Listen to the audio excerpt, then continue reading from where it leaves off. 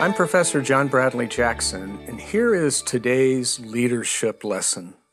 I can tell you startups are cool, they're fun, and no one loves it more than the founder of the startup.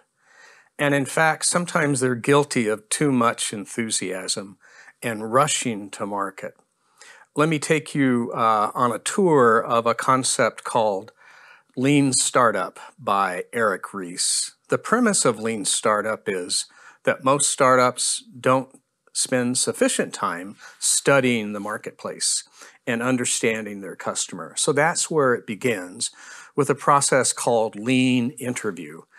Uh, the long interview, uh, that is, is uh, a process of meeting with people uh, for a qualitative in-person uh, discussion and asking about uh, their wants, their needs. The purpose is the verification of the problem itself and then a refinement of who the customer truly is. That step is not done until you've talked to 100 people face to face, which is a huge amount of time. But after you have interviewed 100 people uh, at, with that type of in-depth discussion, what you're left with is a good feeling about how you're going to provide value uh, to the customer. And that is the value proposition. Why will they buy?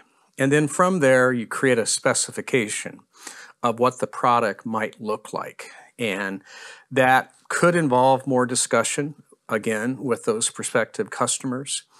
And from there, you create what's called a minimum viable product, an MVP. Well, that's a fancy name for a prototype.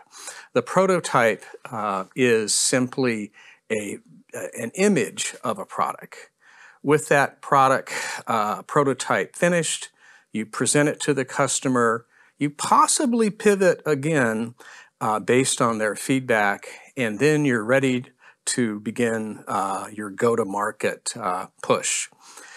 Now, one thing you have to remind yourself as you go to market, you're still an early stage startup.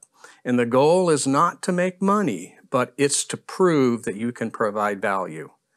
And with that value delivered, then you have product market fit and you're in a position to scale. I'm Professor John Bradley Jackson. This has been your leadership lesson.